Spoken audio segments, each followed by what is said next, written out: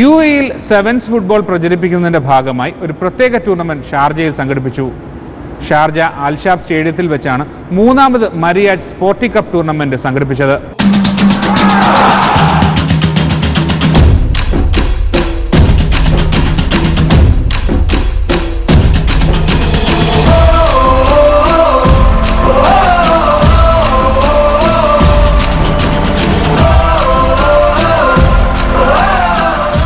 കേരളത്തിന്റെ വടക്കൻ ജില്ലകളിലെ ആളുകളുടെ രക്തത്തിൽ അലിഞ്ഞു ചേർന്നതാണ് ഫുട്ബോൾ.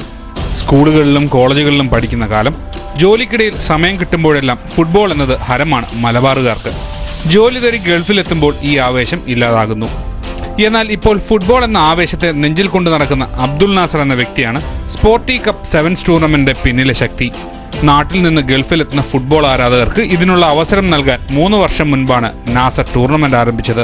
ഞങ്ങൾ ഈ കളിയുടെ ഈ ഒരു ടൂർണമെന്റ് നടത്തുന്നതിന്റെ ഒബ്ജക്റ്റീവ് എന്താണെന്ന് വെച്ച് കഴിഞ്ഞാൽ യു എയിൽ ഒരുപാട് പ്ലെയേഴ്സ് നാട്ടിൽ നിന്നും കര പറ്റാതെ ഇവിടെ യു എയിൽ പല പല ചെറിയ ചെറിയ ജോലികളൊക്കെ ആയിട്ട് ഇവിടെ താമസി ജീവിക്കുന്നുണ്ട്. അപ്പോൾ അവർക്ക് ഒരു അവസരം ഉണ്ടാക്കി കൊടുക്കുക എന്നുള്ളതാണ് ഇതിന്റെ മെയിൻ ഉദ്ദേശം നമ്മൾ ടൂർണമെന്റിന്റെ അപ്പോൾ അതുകൊണ്ട് എന്താണെന്ന് വെച്ചാൽ പഴയ കെ എസ് സി ബി താരങ്ങൾ അതുപോലെ തന്നെ F C Kochin F C Kochi അങ്ങനെയുള്ള പ്രമുഖ ടീമുകൾക്ക് കളിച്ച ഒരുപാട് പ്ലെയേഴ്സിനെ നിങ്ങൾക്ക് ഇപ്പോൾ ഈ ഗ്രൗണ്ടിലൂടെ പെർഫോം ചെയ്യുന്നത് കാണാം.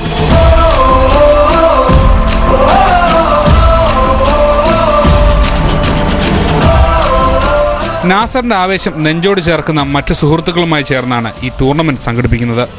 ടൂർണമെന്റ് സംഘടിപ്പിച്ചും ടീമുകളെ സ്പോൺസർ ചെയ്തുമാണ് ഇവർ നാസറിനൊപ്പം ചേരുന്നത്.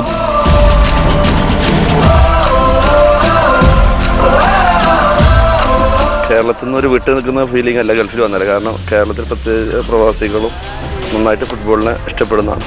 അപ്പോൾ ആ ഇഷ്ടപ്പെടൽ ഞങ്ങളൊക്കെ കൂട്ടി പ്രത്യേകിച്ച് നാസർക്ക ഇവിടെ ഒരു ടൂർണമെന്റ് നടത്തുന്നു.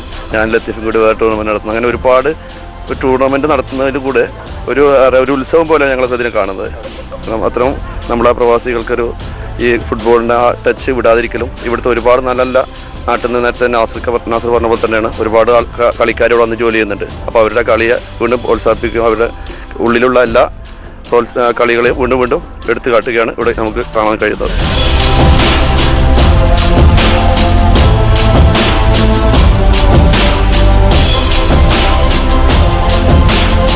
ഒരുപക്ഷെ കേരളത്തിൽ പോലും ഇത്രയധികം സെവൻസ് ഫുട്ബോൾ ടൂർണമെന്റ് മത്സരങ്ങൾ കാണാൻ സാധിക്കില്ല എന്ന് വ്യക്തമായി പറയാൻ പറ്റും. അതുപോലെ തന്നെ യു എയുടെ വിവിധ ഭാഗങ്ങളിൽ വിവിധ എമിറേറ്റുകളിൽ ഒരു ക്ലബ്ബല്ല ഉള്ളത്. ഒന്നിലധികം. അത് വ്യക്തികൾ കൊണ്ട് നടക്കുന്നതുണ്ട്. അതുപോലെ തന്നെ ചില ഓർഗനൈസേഷൻസ് കോർപ്പറേറ്റ്സ് കൊണ്ട് നടക്കുന്നുണ്ട് ചില കൂട്ടായ്മകൾ കൊണ്ട് നടക്കുന്ന ക്ലബ്ബുകളും. അങ്ങനെ പല രീതിയിലുമാണ് ഇവിടെ ഉള്ളത്. അതുകൊണ്ട് തന്നെ ഇതിന്റെ എല്ലാം മൊത്തത്തിലുള്ള ഒരു ഗ്യാതറിംഗ് ആണ് ഇവിടെ നടക്കുന്നത്.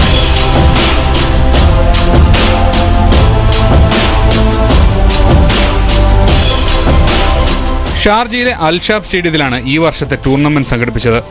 അപേക്ഷ നൽകിയ നാൽപ്പത് ടീമുകളിൽ നിന്ന് മികച്ച ഇരുപത്തിനാല് ടീമുകൾ ലീഗ് റൗണ്ടിൽ കളിച്ചു. പതിനഞ്ച് മിനിറ്റ് നീണ്ടു നിൽക്കുന്ന മത്സരങ്ങളാണ് ഒരുക്കിയിരുന്നത്.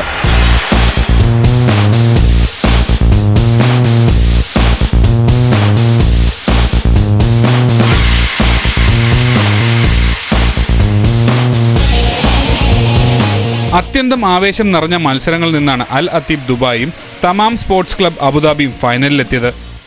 ഫൈനലിന്റെ ആദ്യ പതിനഞ്ച് മിനിറ്റിൽ കളി സമനിലയിൽ പിരിഞ്ഞു. പിന്നീട് വിജയിയെ നിർണയിക്കാൻ പെനാൽറ്റി ഷൂട്ടൌട്ട് എത്തി.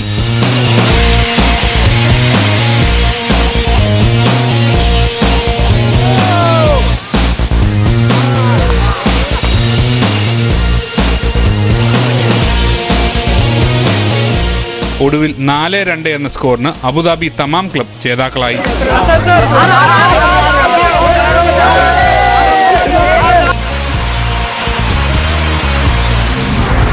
നാട്ടിൽ മോഹൻ ബഗാൻ എഫ് സി കൊച്ചിൻ തുടങ്ങിയ പ്രമുഖ ടീമുകൾക്കായി കളിച്ചിരുന്ന റഷീദിന്റെ നേതൃത്വത്തിലും ടൂർണമെന്റിൽ ടീം എത്തിയിരുന്നു ജോലിക്കായി വിദേശത്തെത്തിയെങ്കിലും ഫുട്ബോളിനുള്ള ആവേശം ഒട്ടും ചോർന്നിട്ടില്ലെന്ന് റഷീദ് പറയുന്നു.